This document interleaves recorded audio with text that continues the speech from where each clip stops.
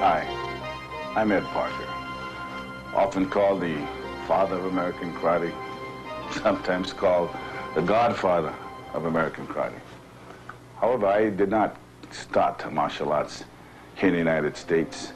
Are members of the Tong, imported Chinese coolies who had come here to work on the railroads in the early 1840s. They formed syndicates, Tongs, and they used to be in war with each other, and as a result, they started to bring in martial art masters.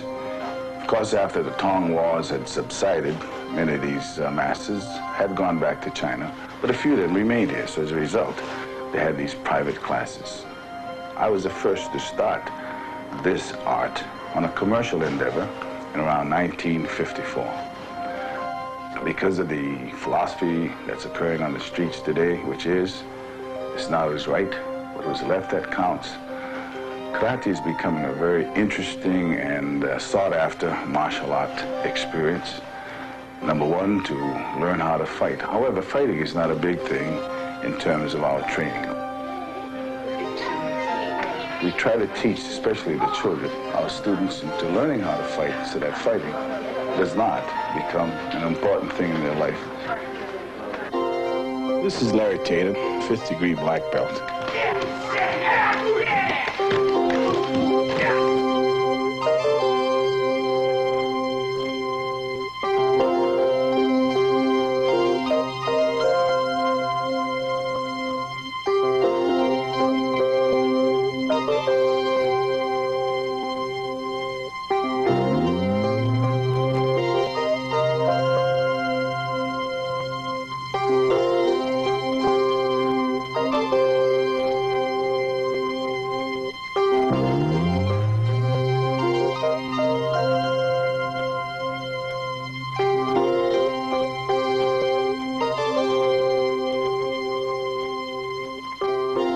Trying to make killers out of these children. We're trying to teach them confidence. Confidence that will help them in all facets of life. That is what the system of Kenpo involves, and that's the history of Kenpo. Now I say system because Kenpo is just that. It's a system, and from this system, we teach individual styles. We're sort of like tailors who try to fit the art to suit the individual rather than the reverse. What makes us unique? We're practical. We're not classical. We teach how to combat things that occur on today's street. We teach linear as well as circular movements. Movements that will be helpful and practical, not against one individual, but several individuals as well. That is the essence of Kenpo. Complete motion, complete movements, all concepts involved to cope with the fighting found on our streets today. In training as a sport, the practice of karate is accompanied by a ritual of centuries-old formalities that precede lessons, demonstrations, and practice sessions. This symbolizes the respect with which our kids regard each other and themselves. During our training and demonstrations, we wear the traditional Japanese uniform, the gi. It's not only a comfortable and sensible workout suit, but it is also worn out of respect to the Oriental culture that developed the martial arts into an organized form of fighting. Okay, run in place. Let's go. Come on, get those knees We maintain a respect for our Eastern roots, but we don't serve them. The Kenpo system of karate, practiced in the United States, has been adapted to the American way of learning and moving. A westernized martial arts form to fit the unique needs of our contemporary society. All right. Karate teaches how to down an opponent through skilled coordination and manipulation of feet, knees, and elbows. Training in how to fall and to avoid injury during practice or actual combat is an essential part of the study.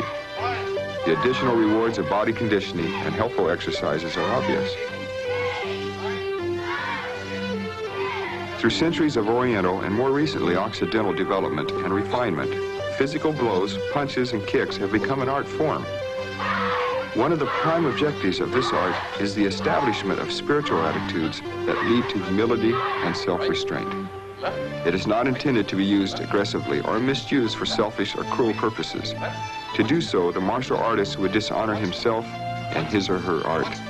Once, one, once, once, once. In dealing with children, I think the first thing that you have to start with is to get to know the child as an individual. Then you can adjust your teaching to the child.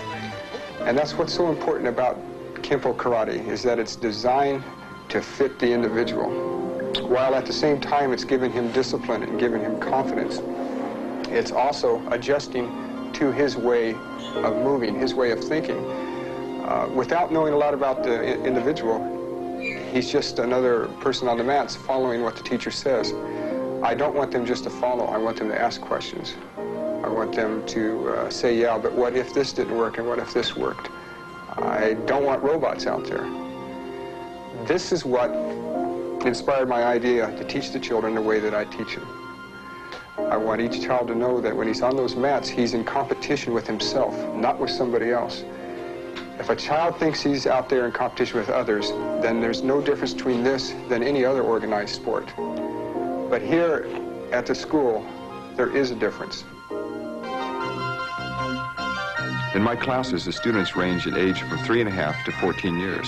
I feel it's essential to mix the ages.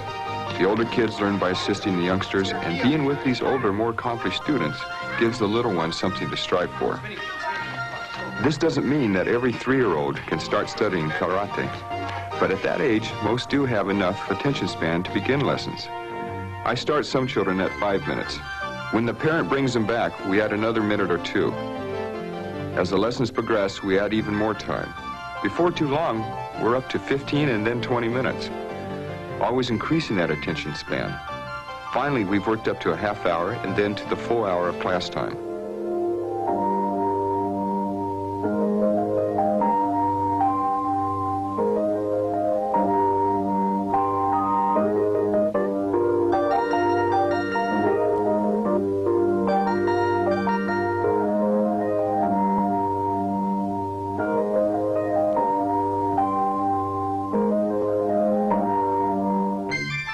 Got Benjamin, Jackie, and Brian fighting two on one.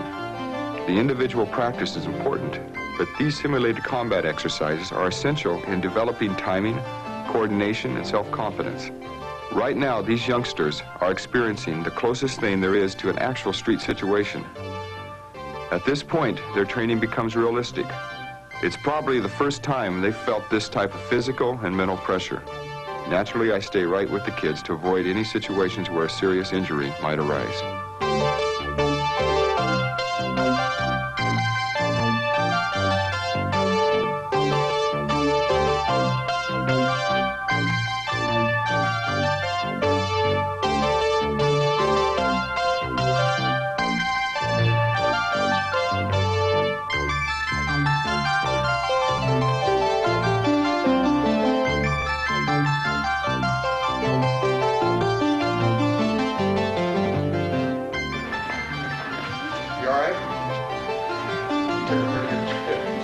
Guys see what I'm talking about? If you guys can take a hit like that and keep fighting, is that going to help you in a street situation? Yep. Yes. Yeah, because you may have to take a lot of hits, right? All right, good. About each other. Same fight. You guys are going after me.